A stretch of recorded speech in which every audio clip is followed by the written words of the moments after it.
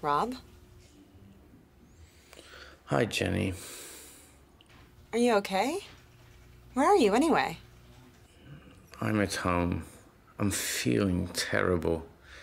We got back really late last night. Why doesn't that surprise me? You know, you're not a student anymore. I know.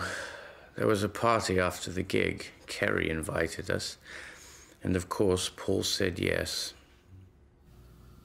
And this morning's meeting? In 10 minutes? That's why I'm calling. I'm not going to make it. I'm really sorry. Rob, it's a very important meeting. I'll cover for you this time, but I won't be able to do it again. It won't happen again, I promise. Anyway, Paul's leaving. He's leaving? That's right.